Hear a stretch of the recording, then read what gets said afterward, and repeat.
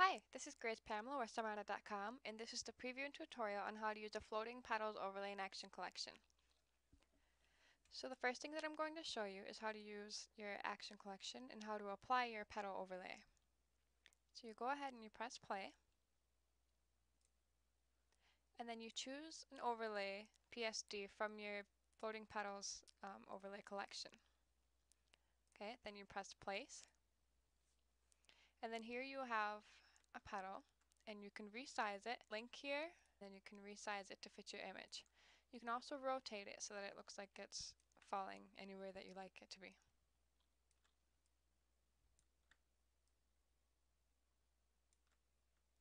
Then you press the check mark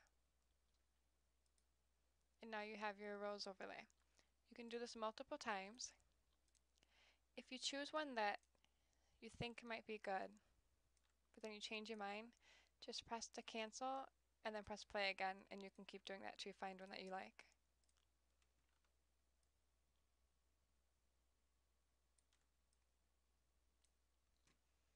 I like to make some of them a realistic rose petal size that's kind of in the same um, field as her and I like to make some of them that are big. You can play around with it for different options. For the ones that are large, I like to blur it so that it looks like it's out of focus. So here you'll see you have different petal resizers and rotators. It makes it super easy to go back and edit each layer individually. And you can see which rose petal is which by just turning off the eye and turning it back on. Let's say I want to edit this one. You can go ahead and blur your petal. And you can press this as many times as you'd like to get the effect that you're looking for.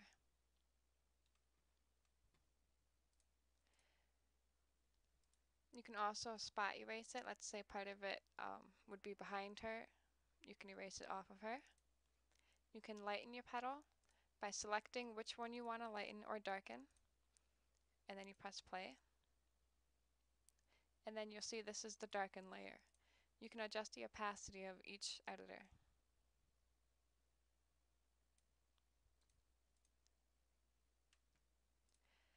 When you're finished adding all of your rose overlays, you can go ahead and add different final image editors. So like Thorn Depth.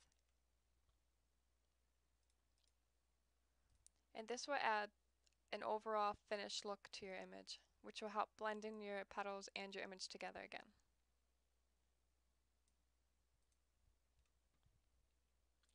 You can add more color, and you can add different tones.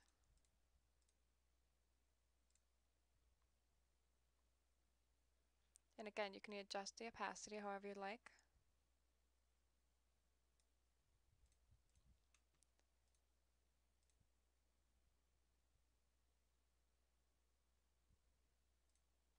Here are some more tools that can help you as you're going along. You can zoom in, zoom out, fit on screen, flatten your image, resize for the web, web sharpening, and happily ever after, which will help save it and just make things a lot simpler. And that's all there is to it really. Um, you can go back and resize it, rotate it as you like. And then I'm going to show you really quick in PSE. It's the same exact thing. You're going to apply a petal overlay, whichever one you'd like. Press place. Hold down your shift key Or you can go down here and make sure the constraint proportions is checkmarked. Then you can resize it, rotate it, press it. You can also rotate it or resize it. Another thing you can do is change petal perspective. And you just kind of drag the corners out or in. And this will help change it for you, the perspective. You can also blur your petal more, lighten, darken, add thorn depth.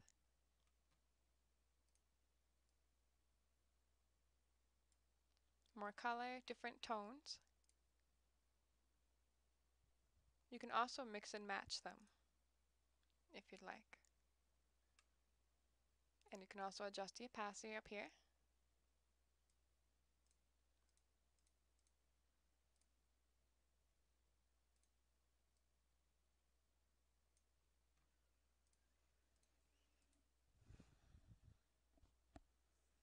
Can also zoom in and zoom out, fit on screen, and that's really all there is to it. It only takes a few minutes to complete your entire look. It really depends on how many petals you'd like to add to your image. And there you have it. There's the preview and tutorial for the Floating Petals collection by Summerana.com. Thank you so much for watching.